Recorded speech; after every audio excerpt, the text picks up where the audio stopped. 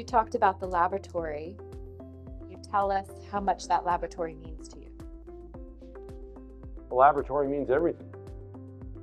Um, that's where I have the opportunity to work with people to change the status quo.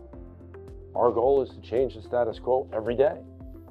Like I tell people, if we wake up in the morning and we finish at the end of the day, and the status quo is at the end of the day what it was in the morning, we've wasted the day.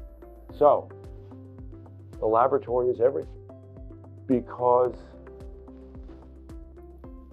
every day we don't challenge the status quo, people continue to suffer needlessly because we haven't pushed hard enough. And so, why are you here? Well, we're here to relieve human suffering. And in order to do that, you've got to change the status quo, got to push things forward. In the you know, in the operating room, I had a, a wonderful resident, Ray Quang Chu, who went on to become chair of one of the urology programs in Oklahoma. And Ray was wonderful. Uh, when we'd operate as a junior resident, I was at that time a chief resident, he would always take notes. So Ray knew exactly how you did something. And I can remember we were in a case and we were doing something, and he looked at me and went, That's not the way you did it the last time. And I looked at him and I said, Well, Ray, what you have to understand is we do it the same way every time, only once. Because we're constantly striving to make whatever we do better. And I can't believe that what I'm doing is the epitome, the absolute best that it could ever be done.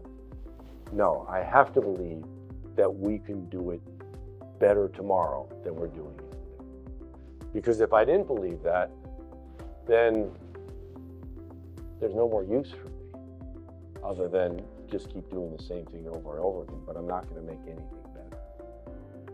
So every day we go in and challenge how can I do this better? How can we do this more efficiently? How can we do this through a smaller incision? And you keep doing that every single day. But that's, you know, I say the wonderful thing about urology and about medicine because there's so much ignorance. We know so little, so that the ability in the laboratory is unlimited, just unlimited.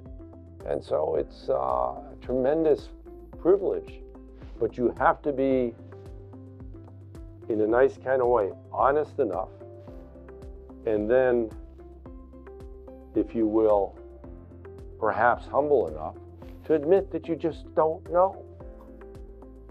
That you just don't know. And that, in point of fact, nobody knows. Fine. Let's go and try and find out. You know, we'll do that together. We've got 20 people now in the lab. It's great fun.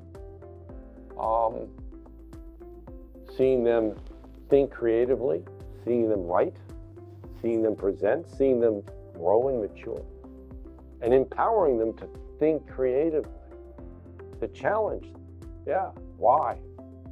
Best question in the world. Why?